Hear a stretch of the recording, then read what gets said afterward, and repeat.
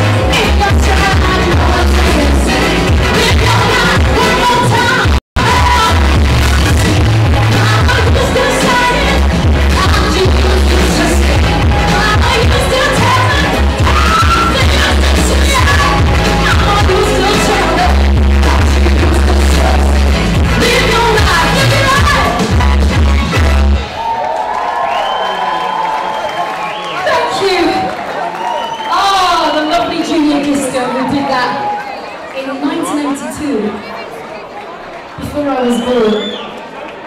Not. Ah. Uh, right, well, I think we're speeding on to, I think this might be the last one, officially.